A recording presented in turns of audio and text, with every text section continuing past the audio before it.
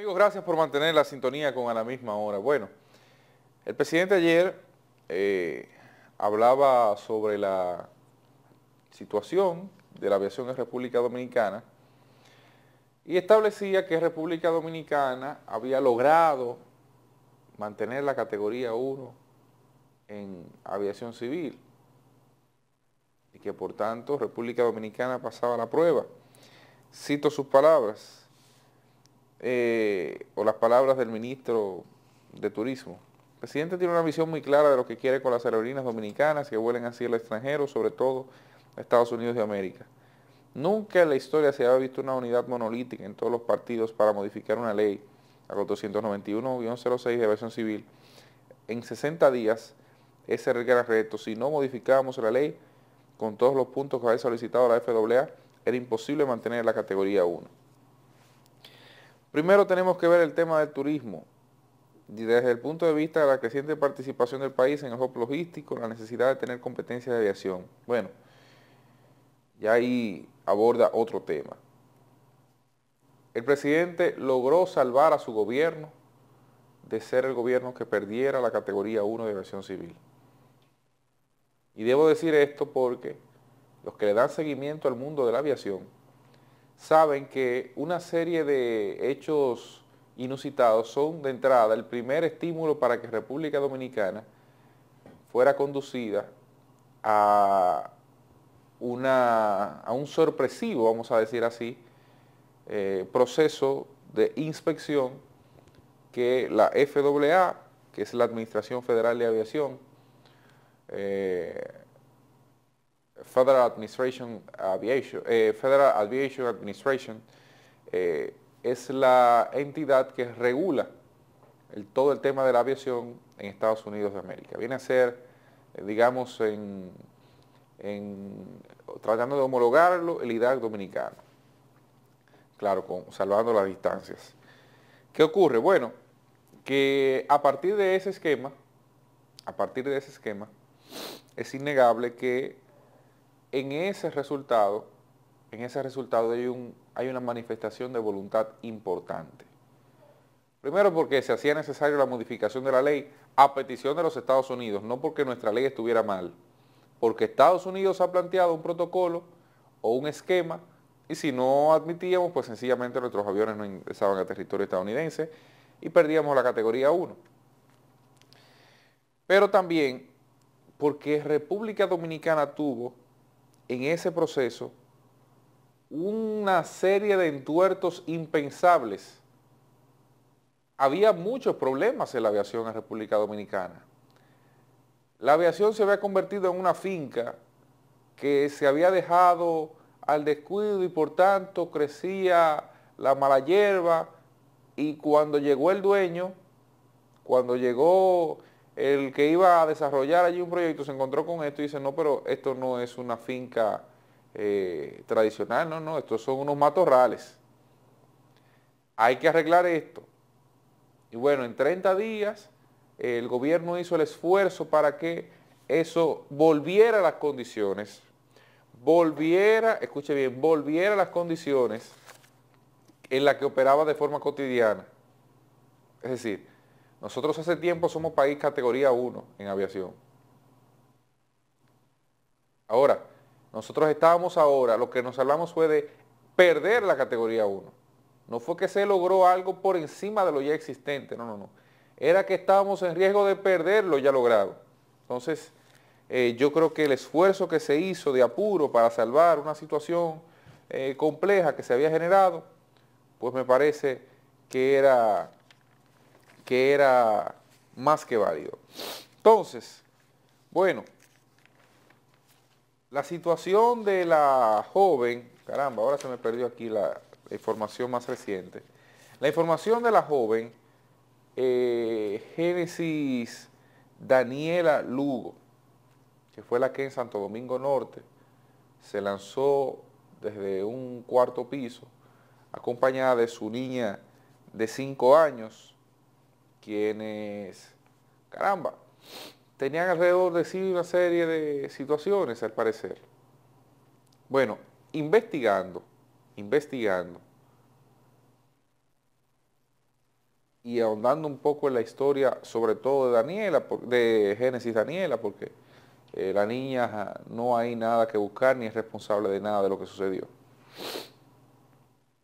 La información última que se ha presentado y que ha podido confirmar la investigación es la gran probabilidad de que sea cierto que haya existido una violación por parte de una tía de la niña. Y esa violación evidentemente ha concluido en un drama familiar. Porque por un lado usted se encuentra al hecho de que, caramba, perdió a su hija. O sea, eh, se suicidó una miembro de la familia junto a una pequeña niña. Y por otro lado usted tiene la situación de que su otra hija está siendo acusada y está presa. Y es la principal eh, responsable indirecta, y digo indirecta porque no fue que lanzó a su hermana desde un techo, sino que se entiende como una causa que terminó en la consecuencia del suicidio. Es un hecho que no hay forma de desenmarcarlo de un tema familiar exclusivamente, de un tema de un drama familiar. Bueno, resulta que eh, la información, la información que esta familia ha tratado de vertir ahora es que no se produjo que no se había producido una violación. Incluso trataron, digamos, para salvar a la tía de difundir un video en el que se muestra a una niña, decir, utilizarla prácticamente como testigo para decir que no había sido, que no, que no, que no es la responsable de una violación. Caramba, un niño no habla de esos temas así por así. Debe haber una inducción o debe haber estado en un ambiente donde el tema haya sido conversado para poder arribar a, un, a una declaración de esa naturaleza. Porque no es, señores, un niño no anda hablando de esos temas al aire. Vamos a olvidarnos de eso. Un niño no anda hablando, y, sobre todo hablando, refiriéndose en esos mismos términos. Porque no es que le puso la mano, no, no no, es refiriéndose en el mismo término de violación. Fulano no viola a fulano. Eso, eso tiene una inducción notable. Ahora, también hay que decir que Génesis Lugo, según informaciones que tengo de gente que interactuó con ella desde la infancia incluso, tenía un déficit intelectual. Tenía un déficit intelectual que quizás le generó una incapacidad para lidiar con el problema que se le presentó.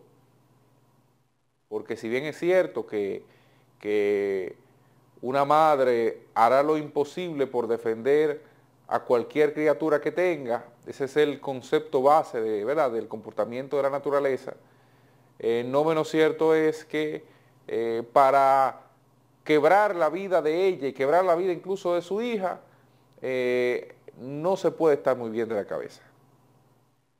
No se puede estar muy bien de la cabeza. Ahora, que eso haya sido falso, yo creo que si la familia buscará demostrar la falsedad del argumento colocado sobre la mesa, debe buscarlo a través de otro mecanismo.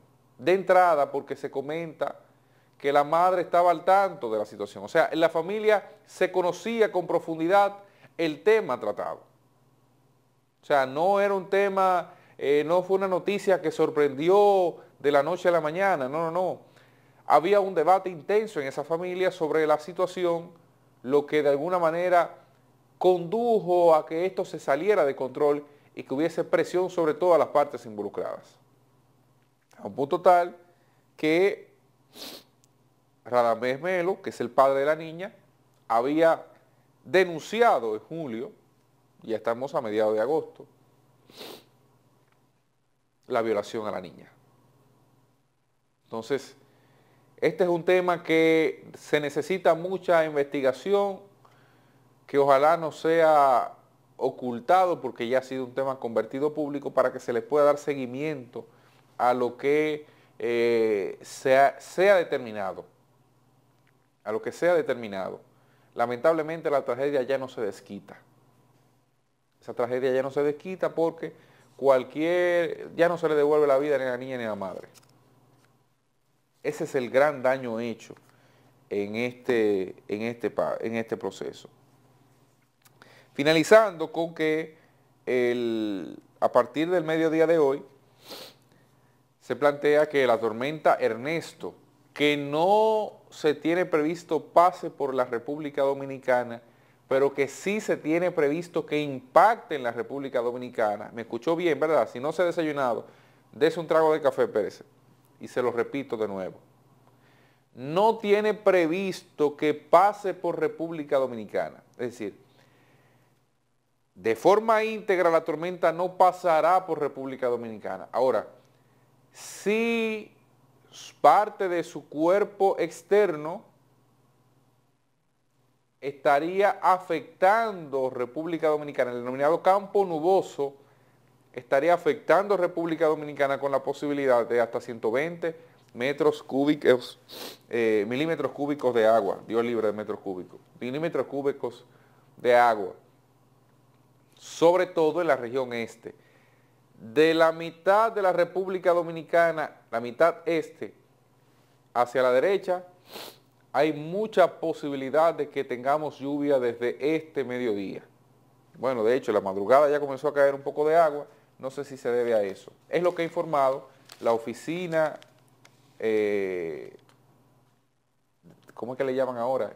Instituto Dominicano de Meteorología, y es por eso que hay 13 provincias en alerta.